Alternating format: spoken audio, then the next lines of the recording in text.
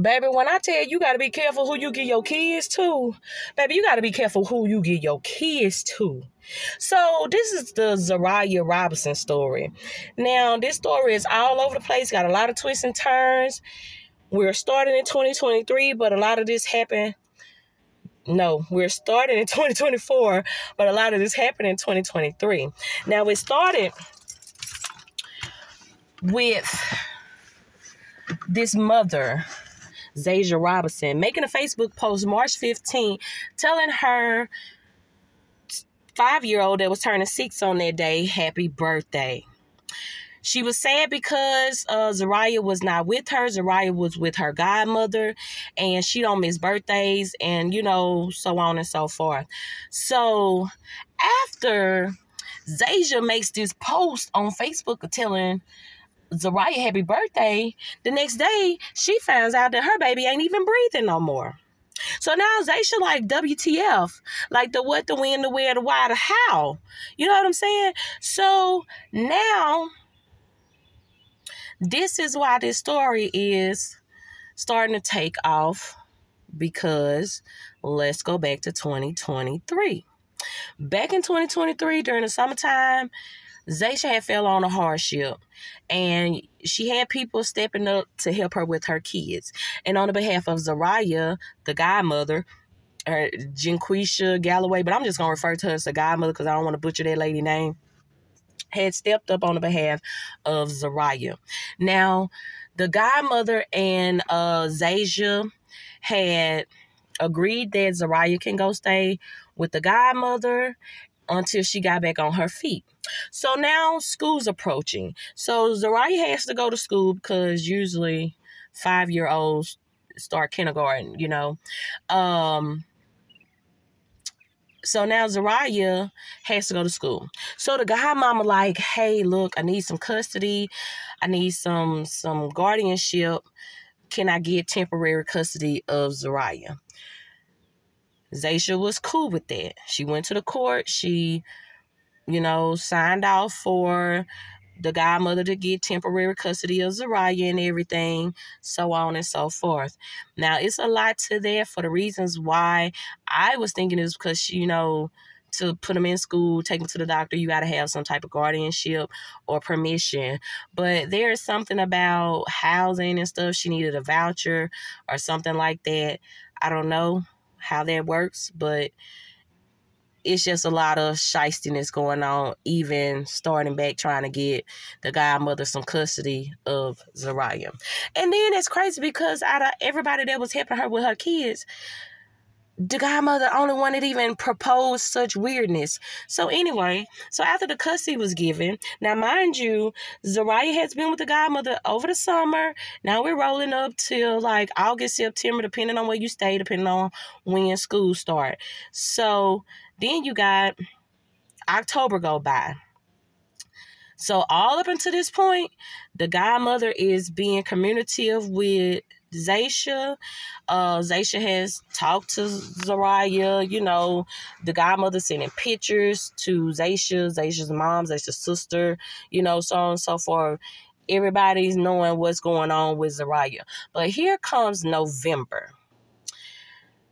Things start to decline as far as the communication with Zha'Riyah and the godmama. She's calling, she's texting, um, she's not able to get in touch with Zha'Riyah. Now, Zasia had gave Zha'Riyah a cell phone when she initially went to stay with the godmama. So Zasia not only, you know, would call the godmama to do a check-in and receive information about Zha'Riyah, she could also call Zha'Riyah phone and, you know, talk to her or play games, whatever they was doing on the phone. You know what I'm saying? So she also had her own personal phone, which now the mother can't get through on either. So now in November, the mother is asking like hey can i get my baby? What's going on with the phone? How come i haven't heard from y'all? Where's Zha'Riyah? You know just typical motherly questions. So in return the godmother is giving her straight bs and um telling her things like oh they in traffic or she'll call you out the wow, or we went here, we went there, we're doing this, like whatever have you, but still not giving Zha'Riyah a chance to communicate with Zasia. Now, after, you know, all this goes on, Zasia goes back to the court in 2024. And, you know, that's when she realized that some kind of way the godmother then got full custody, all kind of foolishness. So she's trying to figure out how to get her baby back because starting in November, the godmama had got a little shisty with her and she has not talked to or seen her daughter.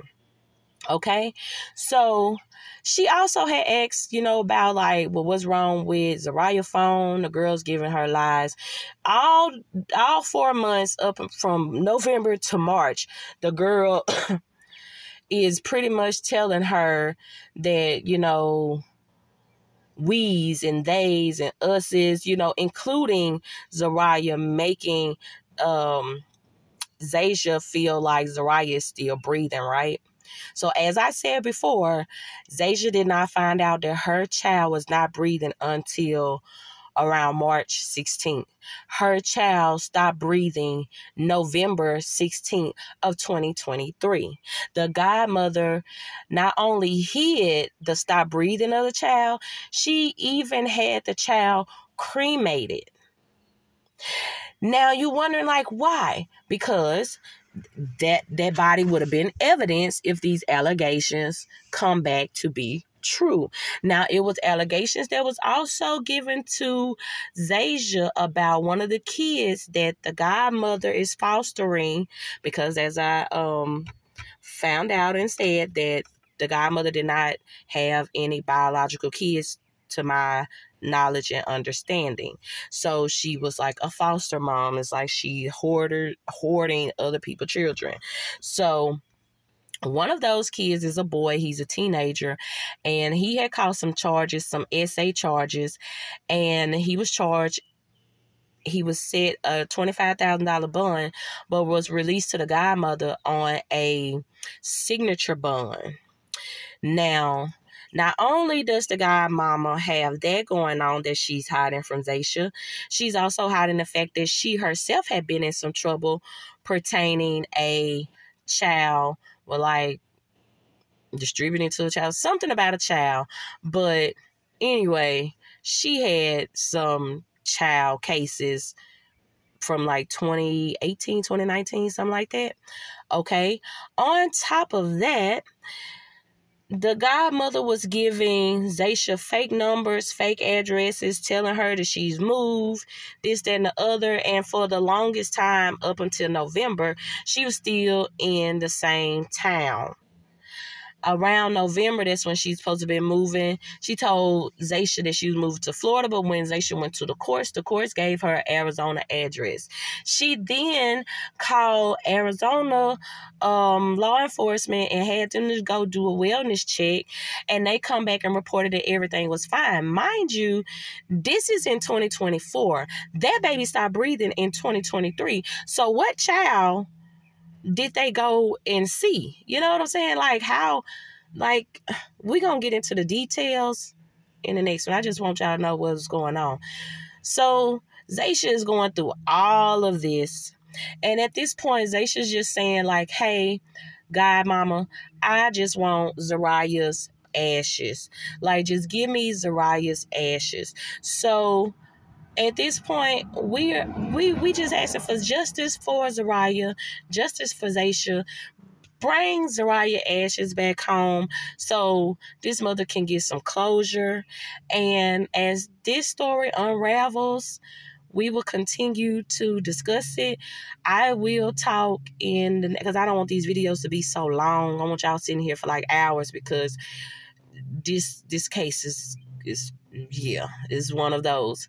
So in the next video, we're gonna talk about some of the details and kind of like keen in on specific things and just try to dissect them bit by bit as to what makes sense and what doesn't and what has been proven and what hasn't because I'm really just going off of a lot of the proof that the mother has put up because the god mama put up stuff and she take it down as soon as it be questioned and she see the inconsistencies in her story she'll go and remove it i can't get to the god mama's page because she got it set up and we're not friends so I'm just relying on someone that is friends with her to get this stuff to me. Y'all want to get in contact with me? Um, don't try to email me because I don't check those often. Hit me up on Moni Stackz TV and I will check those inboxes and get to that. So if you got anything coming from the God Mama, send it to your girl.